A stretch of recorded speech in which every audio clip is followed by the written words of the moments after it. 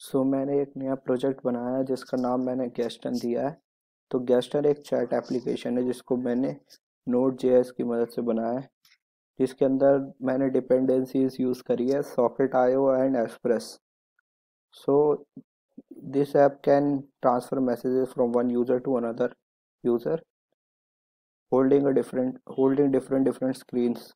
So if i upload it to the server you can share your messages as a group discussion in this app.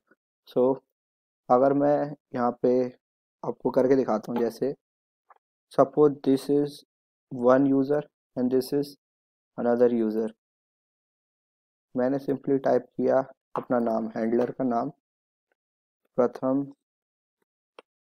और मैं लिखा हाय जब मैं लिख रहा हूँ, तब दूसरे के पास मैसेज आ रहा है हाय, प्रथम इज़ टाइपिंग अ मैसेज। तो यहाँ प्रथम इज़ टाइपिंग अ मैसेज दूसरे के पास आ रहा है मैसेज।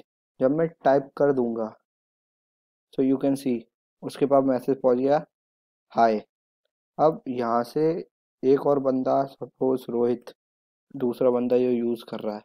अब मैं लिखता हूँ, रोहित ने टाइप किया हाय, अब वहाँ रोहित रोहित इस टाइपिंग का मैसेज लिख के आ रहा है। तो हाय प्रथम तो रिप्लाई कर रहा हो, हाय प्रथम। तो एक एक स्क्रीन से दूसरी स्क्रीन में चला जाएगा। तो ये दूसरी स्क्रीन में चला गया। आप देख सकते हो, हाय प्रथम यहाँ लिख के आ चुका है।